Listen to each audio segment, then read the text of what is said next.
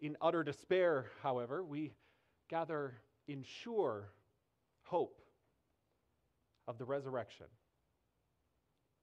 We gather to give God glory for the life of Harriet Francis, who many of us knew as Hattie. We gather to receive the comfort of the Holy Spirit, the comfort of family and friends around us, and we gather to proclaim the good news of eternal life in our Lord Jesus Christ. Let us pray. O oh God, we bless you for the great company of all those who have kept the faith, those who have finished their race and now rest from their labor. We praise you for those who are dear to us, whom we name in our hearts before you. Today, we especially thank you for the life of Hattie Francis, whom you have now received into your presence. Help us to believe where we have not seen, trusting you to lead us through our years. Cleanse our hearts, O God. Redeem our memories. Renew our confidence in your goodness, shown through all people. Forgive us. Help us to forgive. Make us channels of goodness and love to all. And in those final days of our lives, bring us at last with all your saints into the joy of your home. Through Jesus Christ our Lord. Amen. Let us stand together and sing hymn number one. There are purple hymnals either on or under your chairs that will have that song.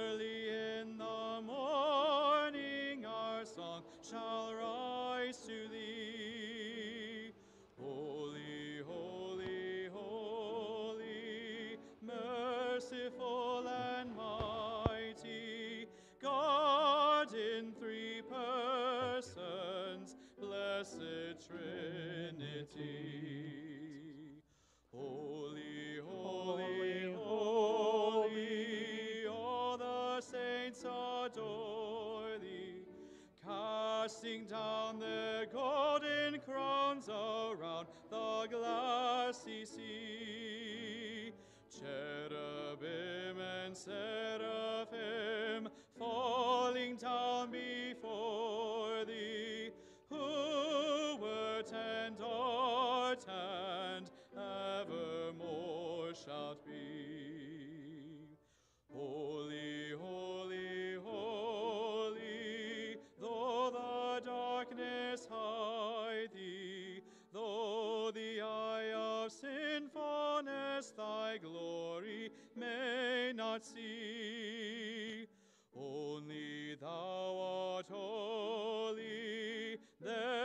is none beside thee,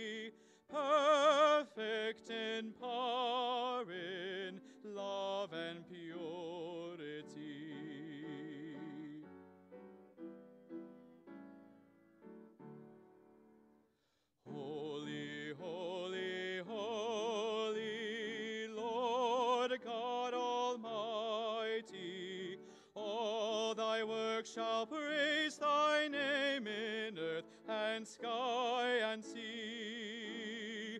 Holy, holy, holy, merciful and mighty, God in three persons, blessed Trinity.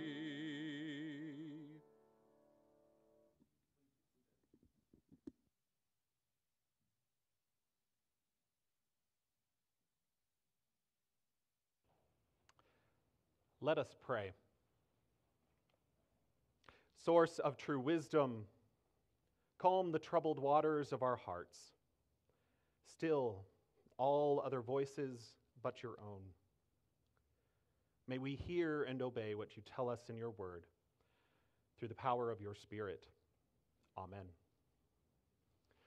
This afternoon, I have two passages that I will be reading for you. The first is from Isaiah chapter 40, verses 1 through 11, and the second is from selected verses from Romans 8. Hear now God's word. Comfort, O comfort my people, says your God. Speak tenderly to Jerusalem and cry to her that she has served her term, that her penalty is paid, and that she has received from the Lord's hand double for all her sins. A, a voice cries out, In the wilderness, prepare the way of the Lord.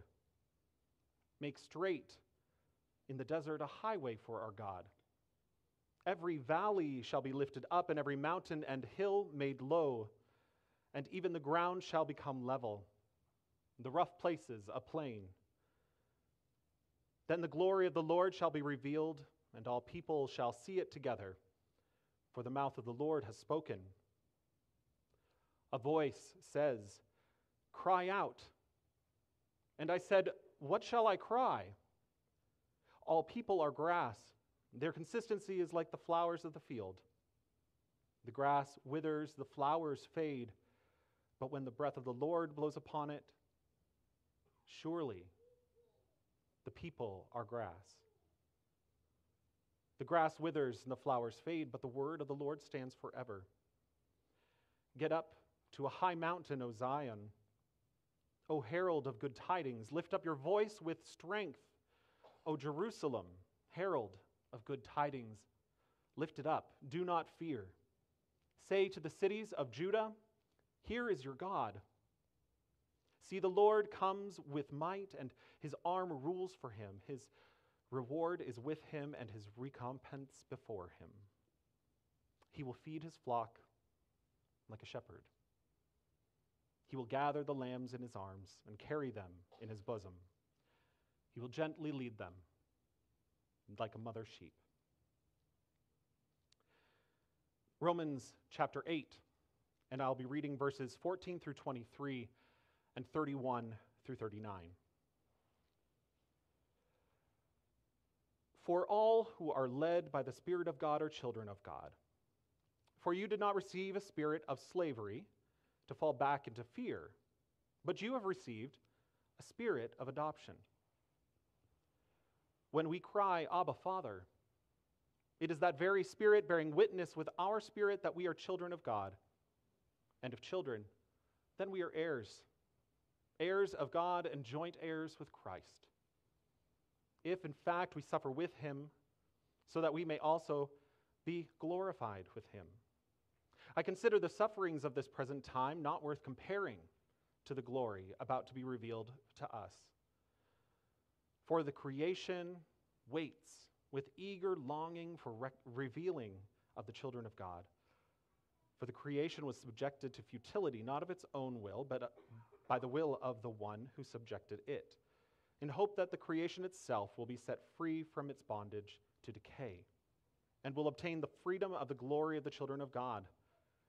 We know that the whole creation has been groaning in labor pains until now, and not only creation, but we ourselves, who have the first fruits of the Spirit, groan inwardly while we wait for adoption, the redemption of our bodies. What then are we to say about these things? If God is for us, who can be against us? He who did not withhold his own son, but gave him up for all of us, will he not with him also give us everything else? Who will bring any charge against God's elect? It's God who justifies. Who is to condemn? Only Jesus Christ. And it is Jesus Christ who died for us. Yes, he was, it was he who was raised, who is at the right hand of God, who indeed intercedes for us. Who will separate us from the love of Christ? Will hardship? Will distress or persecution? Will famine? Or nakedness? Or peril or sword? As it is written, For your sake we are being killed all day long. We are accounted as sheep to be slaughtered. No, in all these things we are more than conquerors through him who loved us. For I am convinced that neither life nor death, nor angels, nor rulers, nor things present, nor things to come, nor powers, nor height, nor depth, nor anything else in all of creation will be able to separate us from the love of God in Christ Jesus. This is the word of the Lord. Thanks be to God. On January 11th, 1955, Harriet Francis was born to her parents, Jean and Hopkins. She was their only child, and Hattie, as most of her, us knew her, eventually worked through college. She studied animal sciences. She then focused on reproductive biology as she was doing her ma- master's degrees. And then she turned toward law, taking what she had learned and applying it to that field. Just before she went to law school, however, she started attending, uh, shall we say, evenings at a certain bar in town. And that's where she met Jeff. The friends introduced them because they had the same last name. Jeff made sure to tell me that they had the same last name before and after, and there's no family relations beforehand. All is good.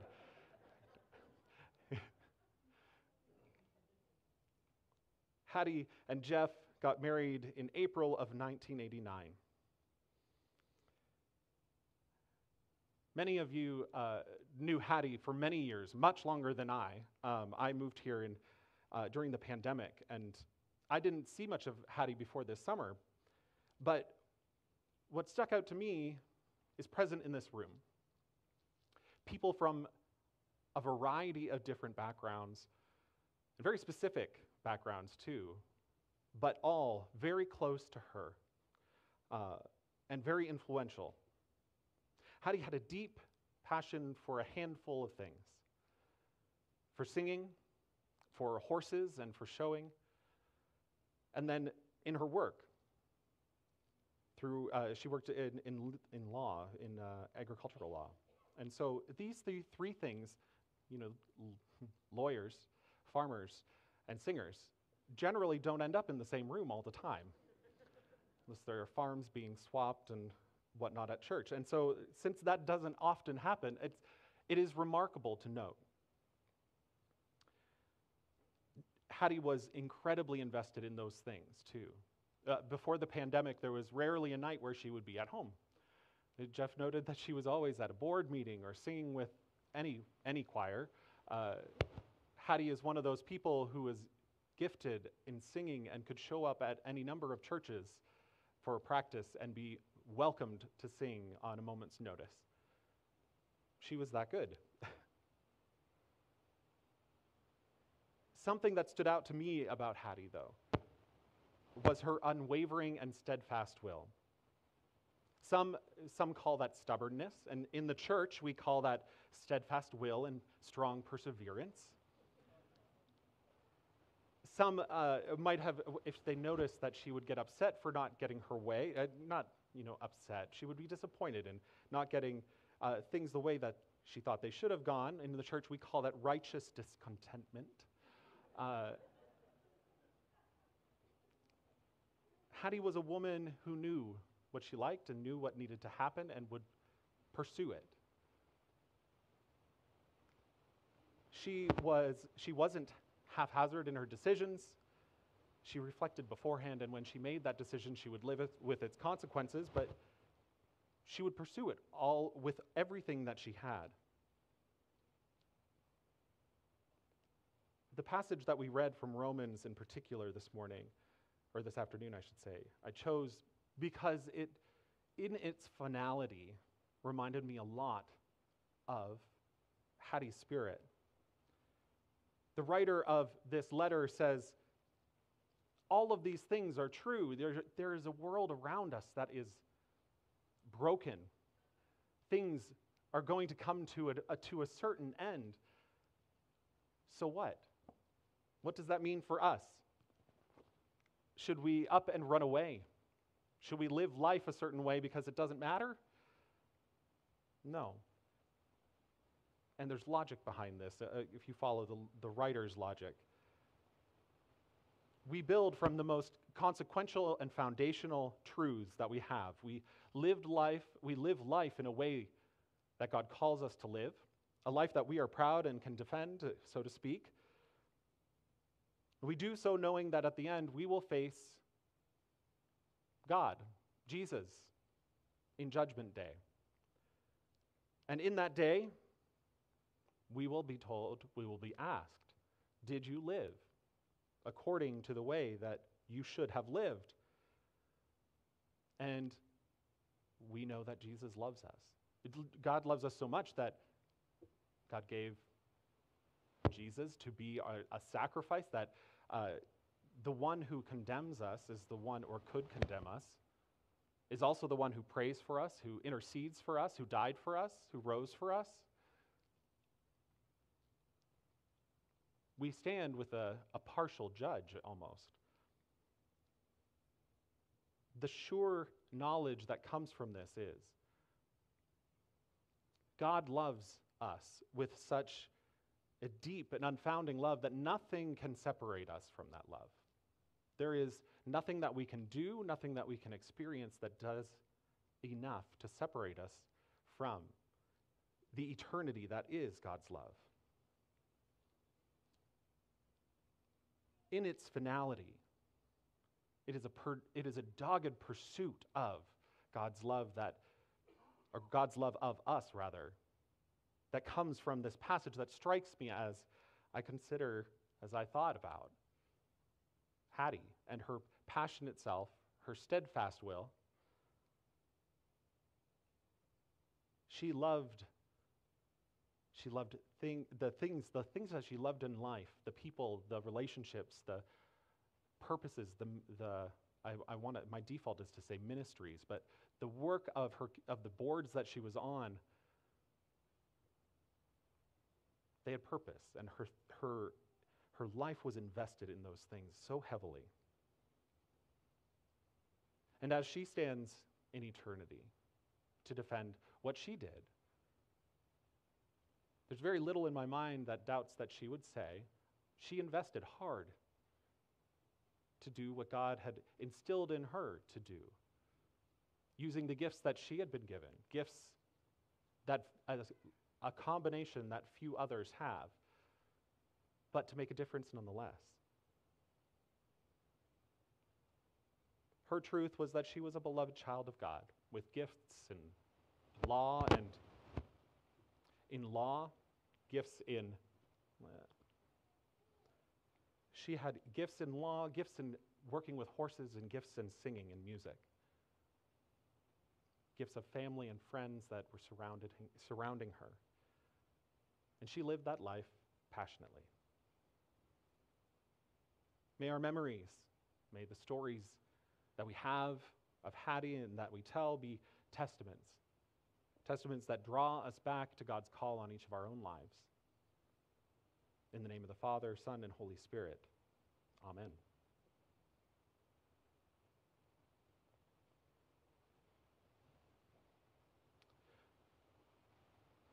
I now invite the choir to come forward. The choir will be singing um, a beautiful piece. It, Hattie sang this with the choir in the past, correct? Fantastic. And this is a choir made up of some of the choirs that Hattie has sung with quite regularly over the years.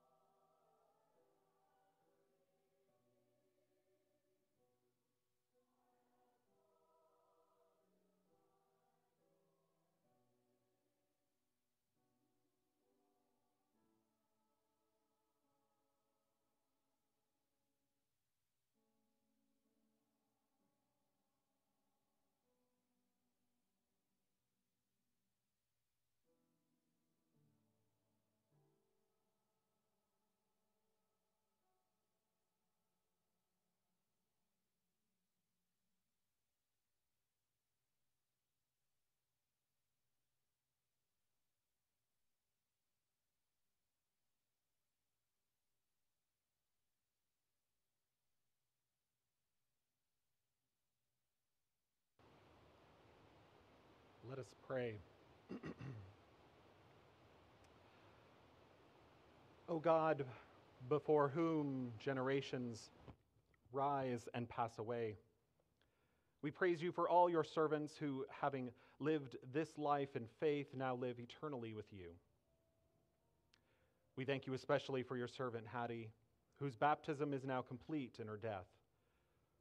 We praise you for the gift of her life, for all that was good and kind and faithful in her, and for the grace that you gave her. We lift up to, up to you those who grieve. Provide comfort and peace throughout the journey of grief they endure. And may they find hope in the comfort that death is past, that her pain is ended. Almighty God, in Christ Jesus, you promised many rooms in your house. Give us faith to see beyond touch and sight, some sure sign of your kingdom, and where vision fails, to trust your love, which never fails. Lift heavy sorrow. Give us a good hope in Jesus, so we may bravely walk our earthly way and look forward to the glad reunion in the life to come through Jesus Christ. It is in his name we pray. Amen. Let us stand together and sing hymn number 625, the first verse and the fourth verse.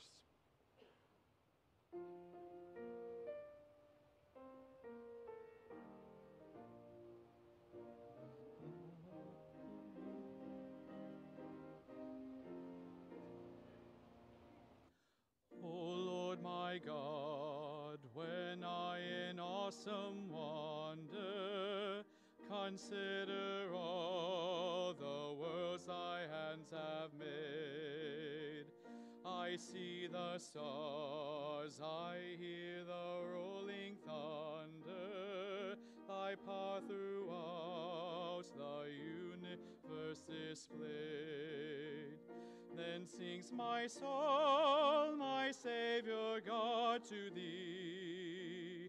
How great thou art, how great thou art. Then sings my soul, my Savior God, to thee. How great thou art, how great thou art. When Christ shall come with shout of acclamation and take me home, what joy shall fill my heart? Then I shall bow in humble adoration and there proclaim, My God, how great thou art. Then sings my soul, my Savior God, to thee.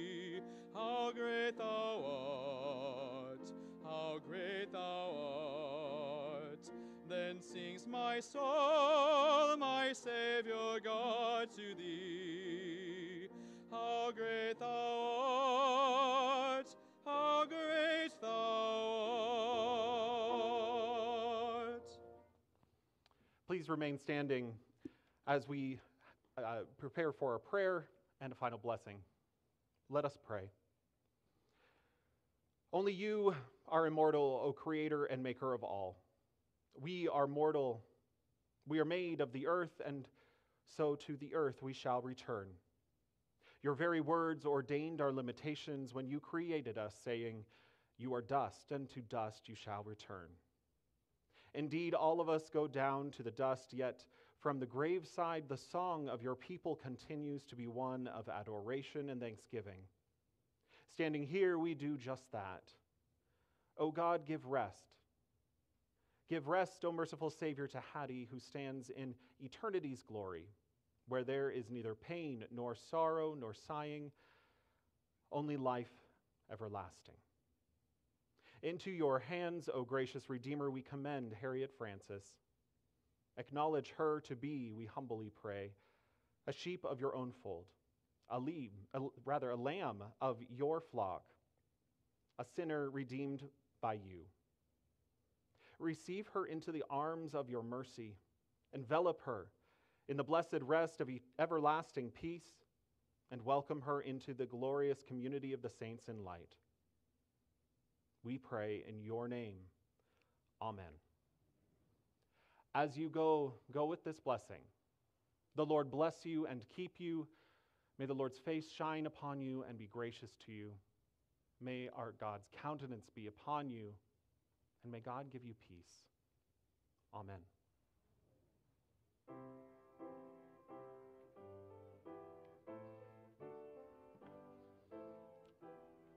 My, my deepest condolences again, Jeff.